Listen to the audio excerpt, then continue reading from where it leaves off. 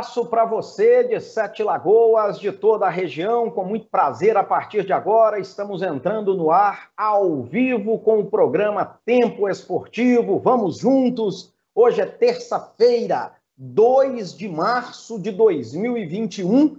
É, rapaz, uma terça-feira daquelas. E o Tempo Esportivo vai trazer muita informação para você. Vamos falar da situação de momento sobre o futuro do Galo. Treinador, será que vai ser o Cuca? Será que vem aí outro nome? É uma terça-feira decisiva, hein? Tem informações quentes de bastidores chegando aqui. Vamos falar também dos preparativos do Cruzeiro, do América, do próprio Atlético para a rodada do meio de semana. Vem aí a segunda rodada do Campeonato Mineiro. O Cruzeiro amanhã em BH contra a Caldense. Vamos falar ainda, atualizar as notícias do futebol local, informações do nosso democrata Jacaré e tudo mais para você a partir de agora aqui no Tempo Esportivo. Tempo Esportivo, uma parceria da TV Sete Lagoas, TV a cabo, canal 8 da NET, com o site setelagoas.com.br, ao vivo também pelo Facebook do site setelagoas.com.br. E também, caso você queira nos assistir pelo seu smartphone, pode baixar aí no Play Store o aplicativo da TV Sete Lagoas. Baixou, você pode nos acompanhar ao vivo, onde quer que você esteja. Vamos juntos, recebendo no tempo esportivo de hoje o nosso convidado, ele que é plantonista, repórter da Rádio Eldorado de Sete Lagoas, meu amigo Nelson Rafael. Chega mais, um abraço, meu querido, tudo bem? Um abraço, Álvaro. Tudo bem com você? Tudo bem com o nosso amigo aí de casa, nosso telespectador? Terça-feira, Álvaro. O mês já, mês 3, já já, final de ano de novo, o campeonato não para. Muito campeonato. Por enquanto é só o Mineiro. Já já começa aí Copa do Brasil, Libertadores, o Brasileirão vem em cima. E a expectativa para o torcedor do Democrata é, é, o dia 2 de junho, né, o, o Álvaro? Para começar aí o módulo 2 que é o que interessa. Mas temos muitas notícias hoje, vamos repercuti-las todas aqui no nosso querido e tradicional Tempo Esportivo da TV Sete Lagoas e também do site setelagoas.com.br. Bacana, Nelson. Liberar aqui o nosso WhatsApp, né? Para quem quiser interagir, quem quiser mandar alguma informação aí, quem quiser falar se concorda ou não com a possível vinda do Cuca. Será que o Cuca vai voltar para o Galo? Opiniões divididas, hein? 31 DDD de Sete Lagoas, 99986 5732. Fique à vontade para participar. Estamos ao vivo diariamente, às 11 da manhã, com reprise às 7 horas da noite. Eu vou chamar um intervalo rapidinho. Daqui a pouco estaremos de volta, hein? Muita coisa para a gente falar no programa de hoje. Segura aí que o Tempo Esportivo volta já.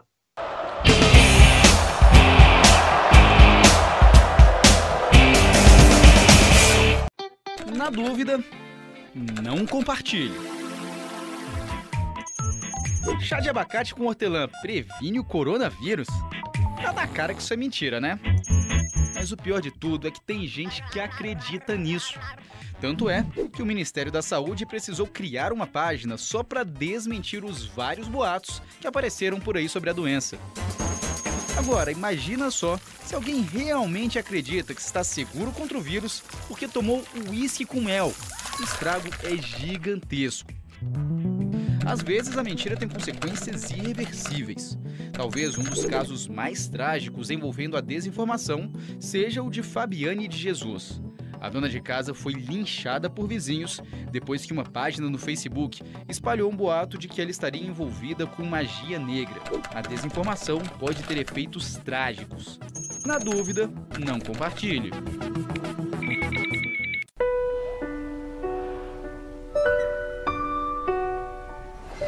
Você sabe identificar os sintomas de dengue, chikungunya e zika? Febre, dores de barriga e náuseas, dores de cabeça, dor atrás dos olhos, manchas vermelhas na pele e dores nas articulações podem ser sintomas dessas doenças que são graves, fazem sofrer e podem até matar. E você? Já combateu o mosquito hoje? Proteja a sua família.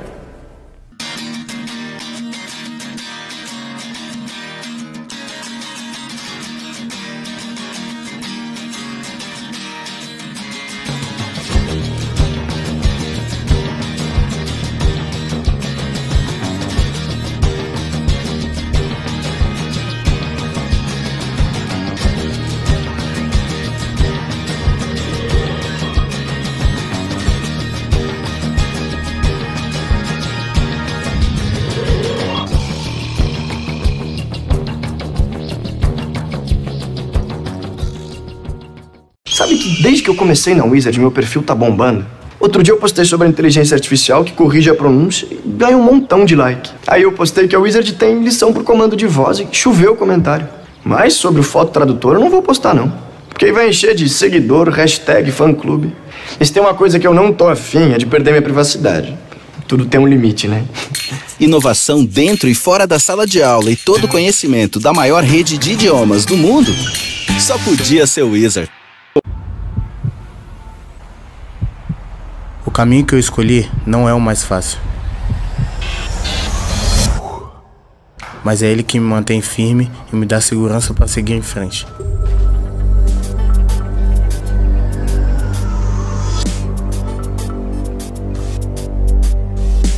Eu sei que desvios existem de sobra. A droga é um deles.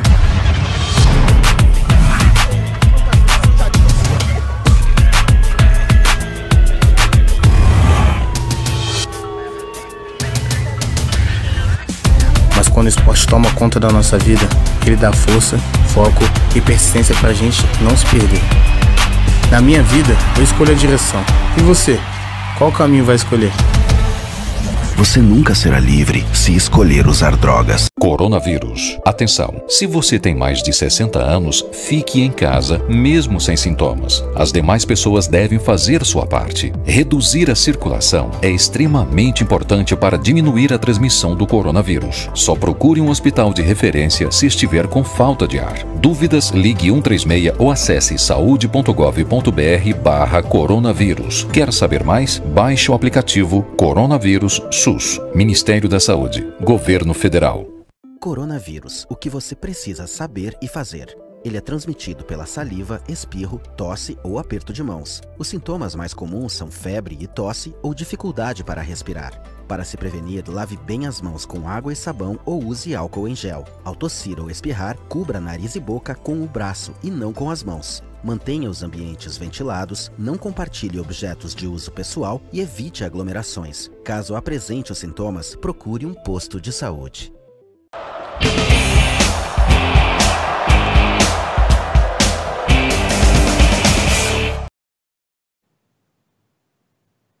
De volta, juntos, ao vivo, Tempo Esportivo pela TV Sete Lagoas e pelo site setelagoas.com.br. Meu caro Nelson Rafael, daqui a pouquinho nós vamos falar da rodada do Campeonato Mineiro.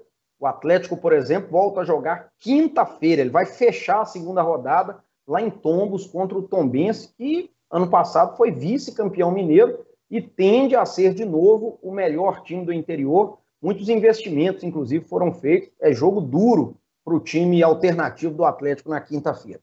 Mas ontem nós ficamos devendo a fala do Lucas Gonçalves, que é o, o, digamos assim, o técnico interino, quem está comandando essa equipe alternativa do Atlético, até que chegue o novo treinador. Ele vai dirigir o time quinta-feira, acredito que vai dirigir domingo contra o Berlândia também e vai dirigir até que o novo treinador, seja ele quem for, né, até que o novo treinador chegue.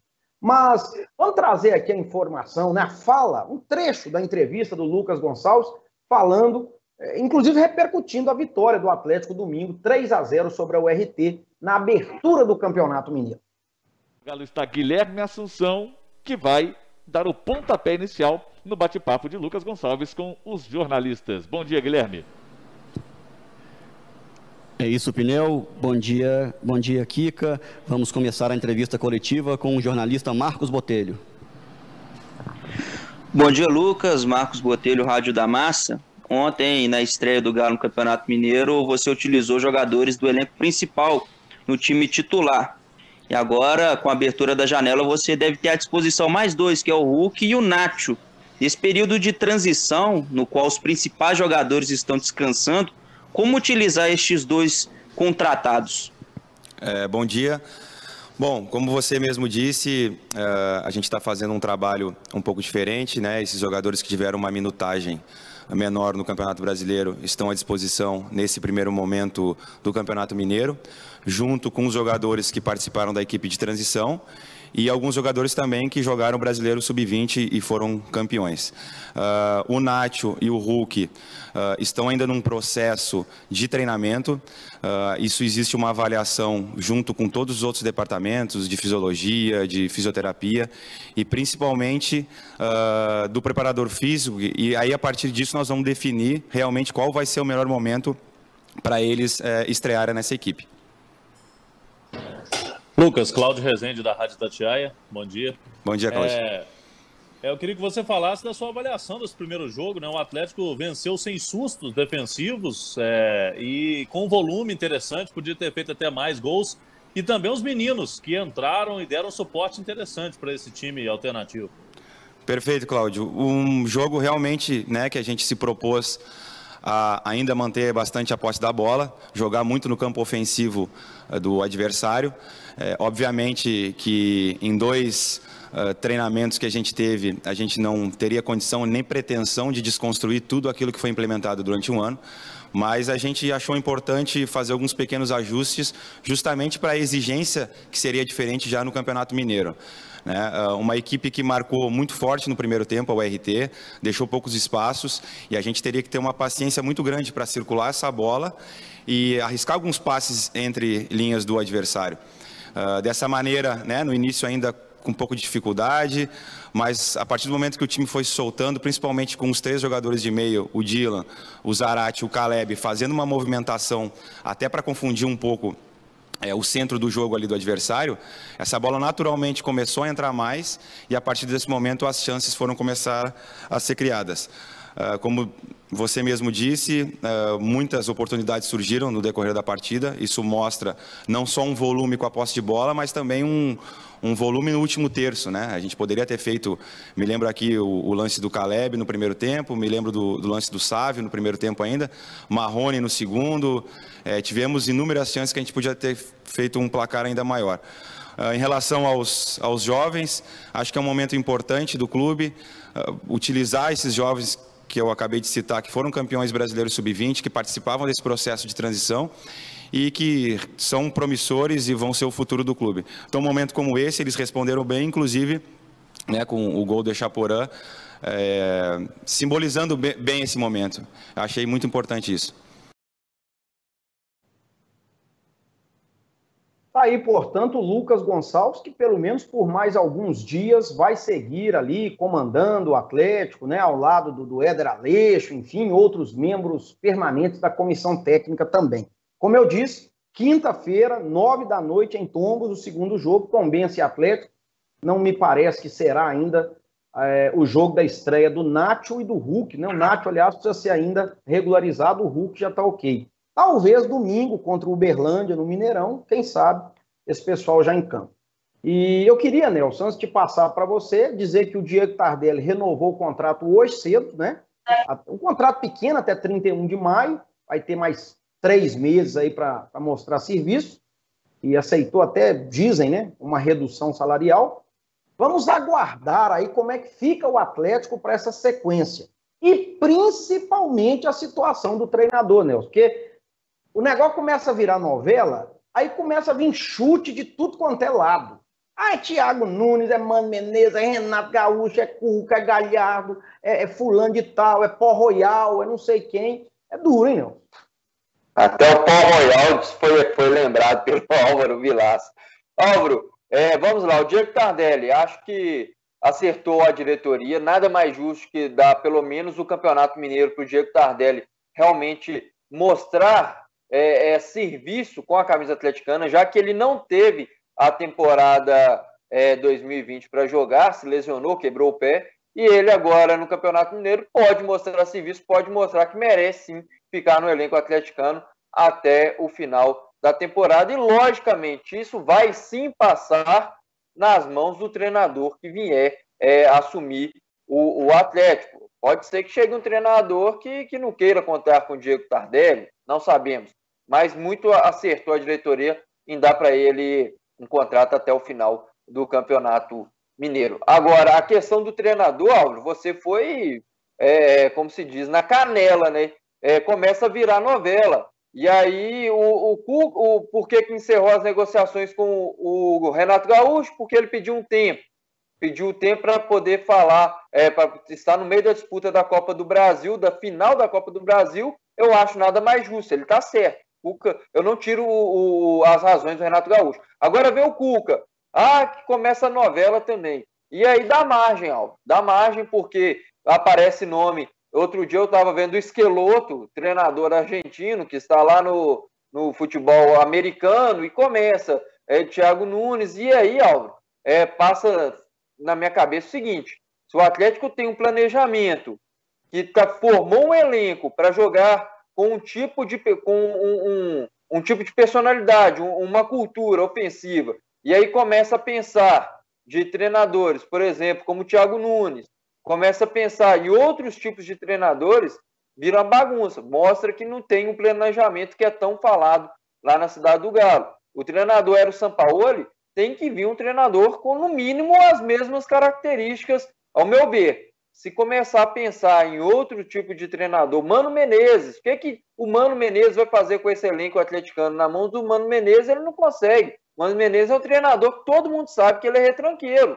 Então, um Atlético que foi formado para ser um, um, time ofensivo, começa agora a especular esses vários nomes, fica muito suspenso. Tomara que essa situação seja decidida no mais tardar essa semana, porque a Libertadores já está batendo na porta e o Atlético não pode ficar a Deus dará do jeito que está, não, viu, Alto?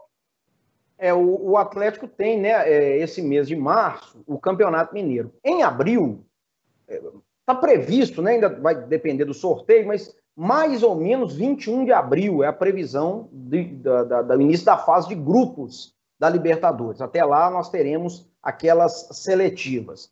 E depois, em maio, vem a reta final, né? A gente imagina o atleta na, nas finais do Campeonato Mineiro, e no final de maio, o Campeonato Brasileiro. Além disso, hoje está acontecendo o sorteio da Copa do Brasil.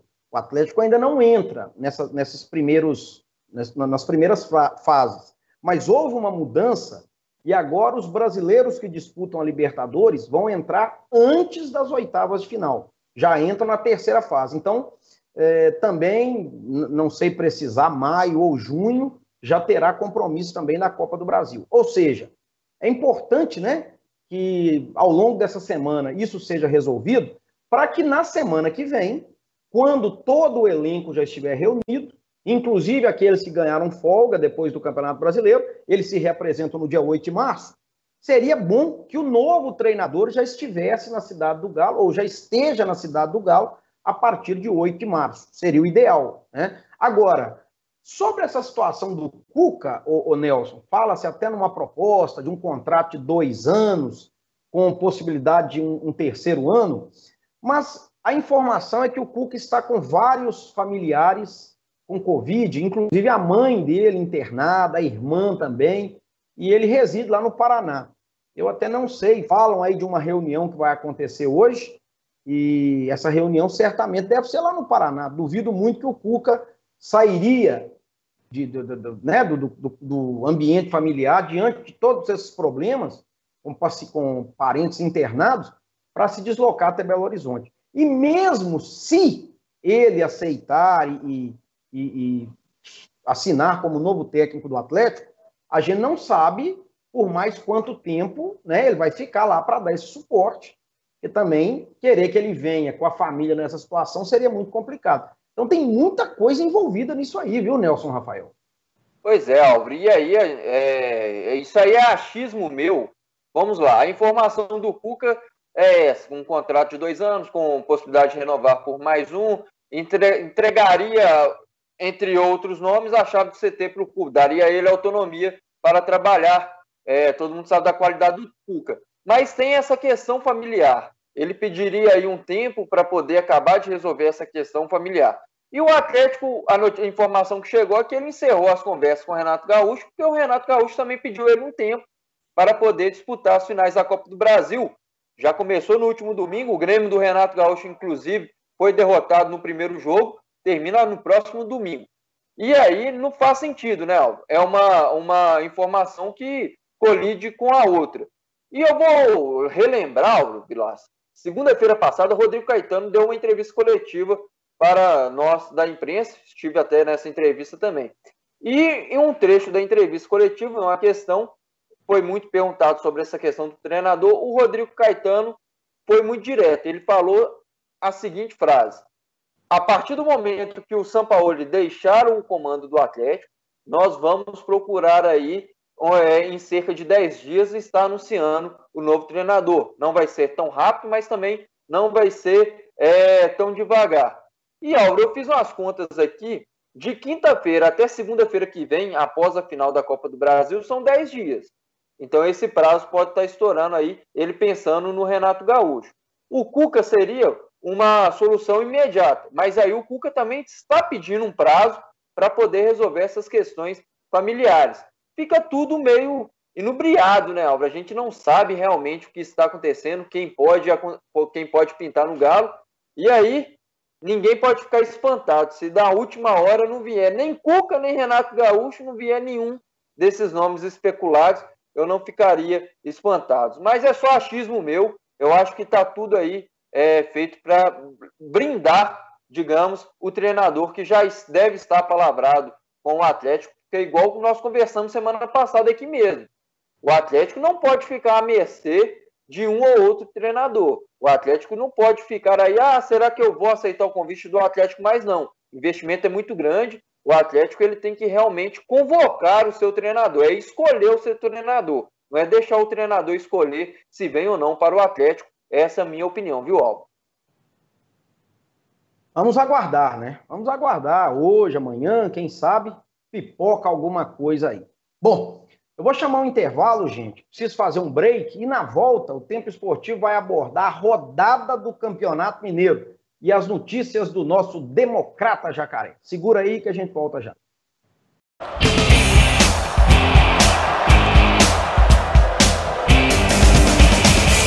O Posto Castelo e o Posto Expresso têm um atendimento diferenciado, porque trabalham com profissionais qualificados e bem treinados para melhor lhe atender. O combustível é testado e aprovado pela Petrobras. Contamos com ducha automotiva e um moderno processo para troca de óleo e verificação de vários itens de segurança do seu veículo.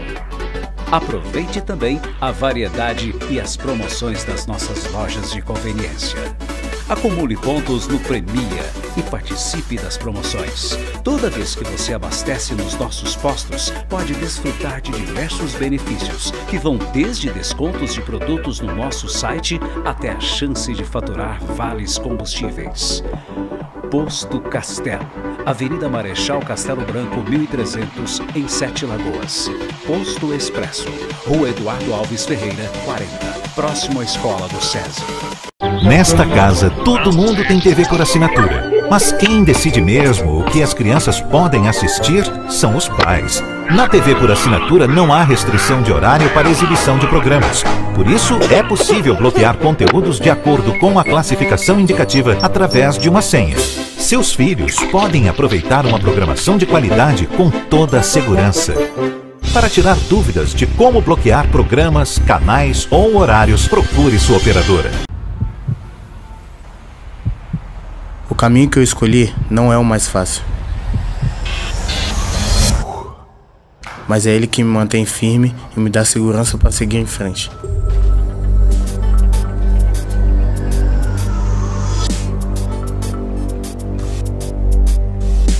Eu sei que desvios existem de sobra.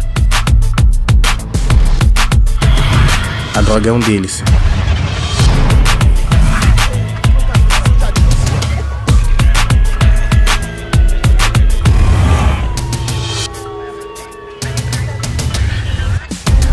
Quando o esporte toma conta da nossa vida, ele dá força, foco e persistência pra gente não se perder.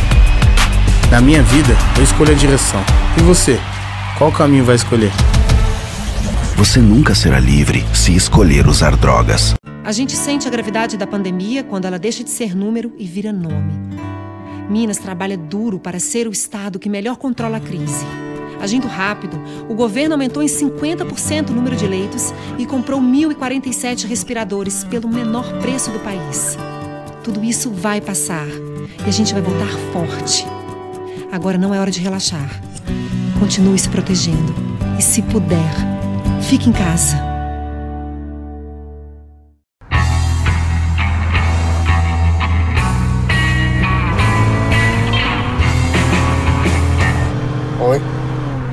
Eu sou você do futuro e vim aqui te dizer para aliviar o pé desse acelerador aí, cara. É, a família toda tá esperando a gente, eu quero chegar lá inteiro. Agora sim. Muito bem, vamos lá.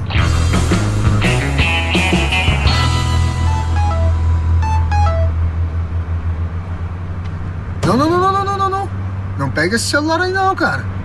Pô, melhor falar com o filhão ao vivo inteiro do que assim, né?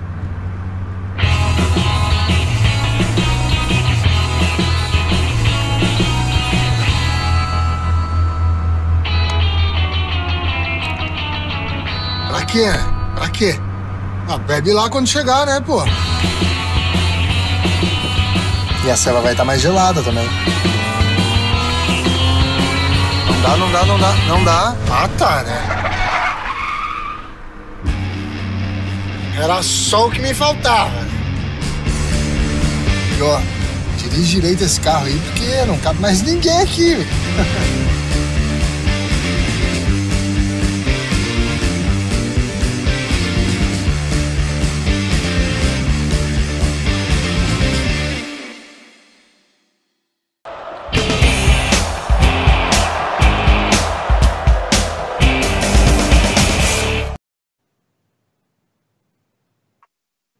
Estamos de volta, vamos juntos ao vivo com o Tempo Esportivo. Nelson Rafael, vai começar a segunda rodada do Campeonato Mineiro. Não sei se você teria ela, inclusive, em mãos aí. É, o Cruzeiro joga nesta quarta-feira, o América também, o Atlético joga só na quinta.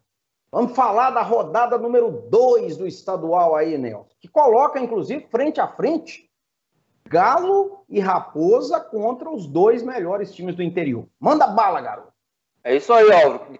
Quarta-feira vão ser cinco partidas, né? Apenas o Atlético joga na quinta-feira, encerrando a rodada. É, os primeiros jogos às sete horas da, no... da noite, na quinta-feira. Boa Esporte e o Pouso Alegre vão jogar lá no Melão, em Varginha. O Coimbra vai receber a Patrocinense em Belo Horizonte no Independência. E aí, às 7h15, um pouquinho mais tarde, o Atlético de São João del Rei pode ser a estreia, inclusive, do Louco Abreu.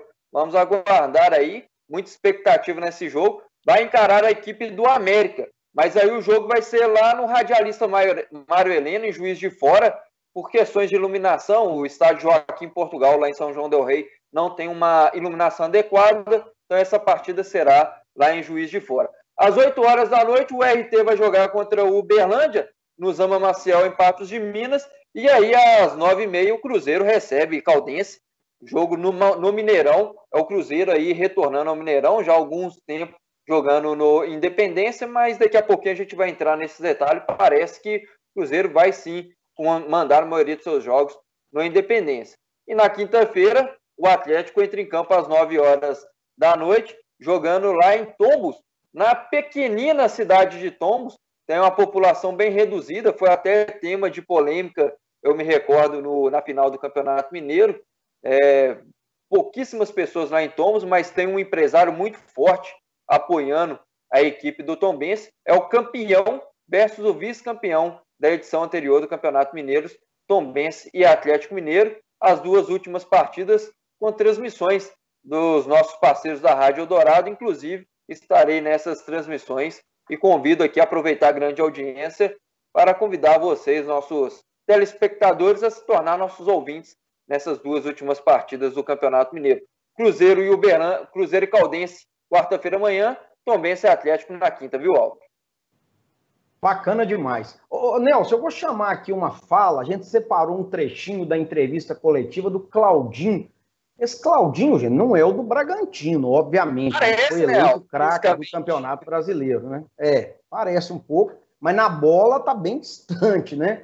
O Claudinho chegou no Cruzeiro ano passado, ah, vai ser um negócio de outro mundo. Mas infelizmente não decolou. E agora, sob o comando do Felipe Conceição, existe aquela esperança, né? Porque ele já mostrou que tem habilidade. Precisa realmente jogar de uma forma mais coletiva. Vamos ouvir aí um trechinho do Claudinho e depois a gente fala mais desse jogo Cruzeiro e Caldense. Cheguei ano passado aqui, esse ano consegui alguns jogos, consegui alguns jogos na Série B também. E a evolução é sempre boa e acho que esse ano promete mais ainda e vai dar tudo certo. Sim, ele tem conversado bastante, passou bastante confiança e disse que vai precisar de todo mundo, né? Então tem que estar sempre preparado e concentrado para entrar e poder contribuir. O professor vem falando para a gente estar sempre concentrado para entrar e poder contribuir. E aí, quando eu entrei, eu pude ser feliz em participar do lance da jogada e, e agora trabalhar mais forte para continuar nessa pegada. Sim, e, e vai ser, porque nos trabalhos a gente pode ver que teve bastante evolução e a nossa equipe está concentrada em tudo que tem vindo fazendo nos treinos e vai dar tudo certo. Sim, muito bom os trabalhos e a gente tá, viu uma evolução muito grande e que esse ano vai, vai nos conceder muitas, boas, muitas coisas boas. A gente ter bastante organização ofensiva, nunca nunca tá na mesma linha do, do, do seu companheiro e tá sempre ajudando com opções. Não, muito positivo, porque os atletas mais experientes ajudam a gente, que é os mais novos, e isso é muito importante.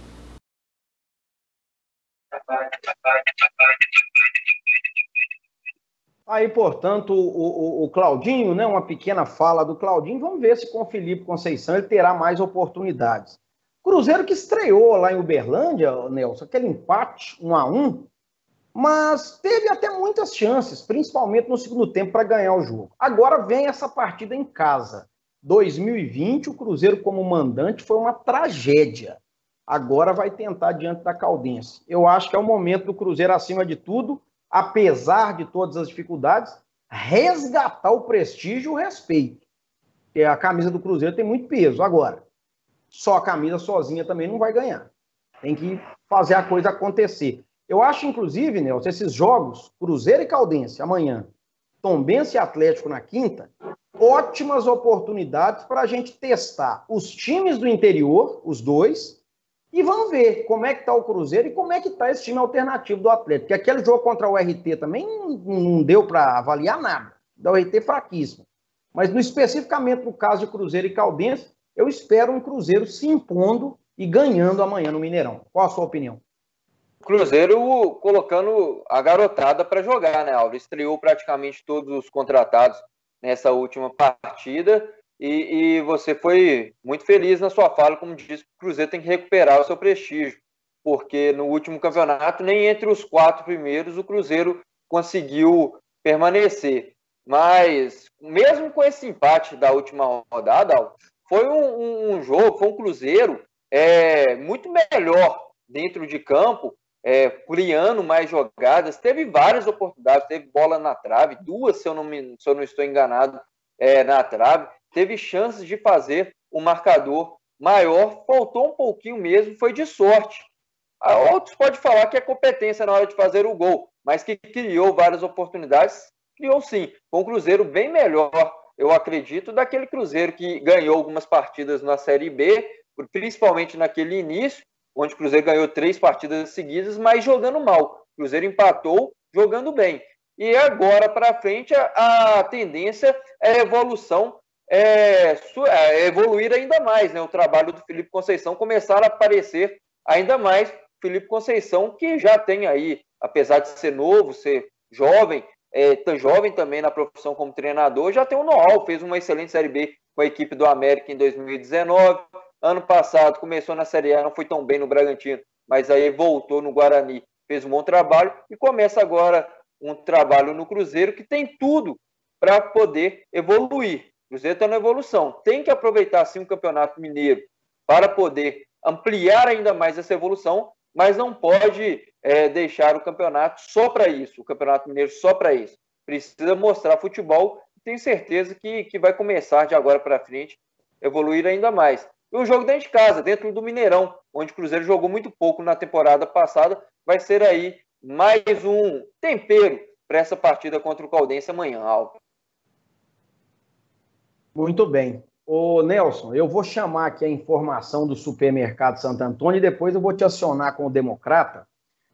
Lembrar que no supermercado Santo Antônio todo dia é dia de alegria, é dia de promoção, é dia de preços baixos. É, durante o ano todo, né, você compra e concorre a prêmios. No supermercado Santo Antônio você pode comprar e pagar em até três vezes nos cartões de crédito sem juros e em até 35 dias no cheque predatado. É um verdadeiro show de ofertas, é um verdadeiro, é um verdadeiro show de promoções. Você ganha o ano todo. Tem a rua, a loja da rua Lavo Bilac, ali no bairro São Jorge, e lá na Avenida Norte Sul, no bairro Nossa Senhora das Graças. São mais de 57 anos de tradição. Nelson Rafael, alguma novidade, algum fato novo, é, depois que você trouxe a informação que o Paulinho Guará deixou de ser técnico do Democrata e virou diretor de futebol. Tem lá o, o, o glorioso Secão, né, que é o nosso é, é diretor-geral, o Renato Paiva na presidência, Democrata buscando um novo treinador. Ainda tem tempo, né? O módulo 2 só começa em julho, mas é aquela história, né? Quem chega na frente bebe água limpa, né, Nelson?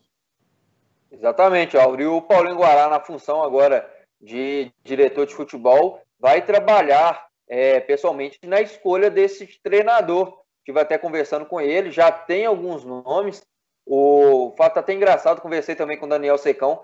Ele me revelou bastidores aqui agora, hein? Ano passado ele todo dia recebia uma ligação de alguém mandando vídeo de jogador para ser contratado pelo Democrata. Esse ano, depois que o Paulinho Guará bateu o martelo falando que não ia ser o treinador, Daniel me falou que todo dia recebe um currículo de, de alguém querendo vir treinar o Democrata, sabedores aí da, da competência da diretoria, da, da diretoria séria que está no Democrata, tem um pessoal, muita gente querendo vir treinar o Democrata. Mas o Paulinho já parece que tem o seu nome preferido, ele é um treinador da sua confiança, é experiente, palavras do Paulinho, deve ser anunciado, pelo menos a palavrado, nos próximas semanas, porque ainda tem um tempo para o Democrata anunciar esse treinador, mas já tem um treinador que quer participar também da montagem de elenco ao lado do Paulinho e do Daniel Calazans. Esse assunto de campo, breve, breve vamos ter mais novidades.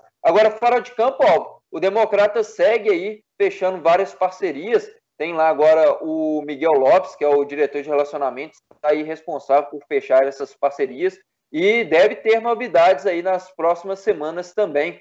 Parece que uma empresa de cerveja, o, Miguel não quis me revelar qual seria essa empresa, tomara que seja a Ambev, que é uma das maiores que temos aí, no, não só no Brasil, mas no mundo, está aí a pequenos detalhes de oficializar também uma parceria com o Democrata dentre outras outras pequenas parcerias. Né? O Democrata, através desse trabalho sério, vem recuperando a sua imagem no cenário esportivo brasileiro e segue ali, né? Já a parceria com a Unifem também foi concretizada na última semana. O Democrata vai ter lá o futsal sendo desempenhado na Unifem, que é importante, já é o primeiro passo para reativar as categorias de base do Democrata que é, um, que é uma das aí, é, missões que o Renato, o Renato Paiva já me falou que vai fazer até entregar o seu mandato, é colocar as categorias de base do Democrata funcionando novamente. O primeiro passo foi dado com essa parceria com o Unifem no futsal para os meninos lá, o infantil,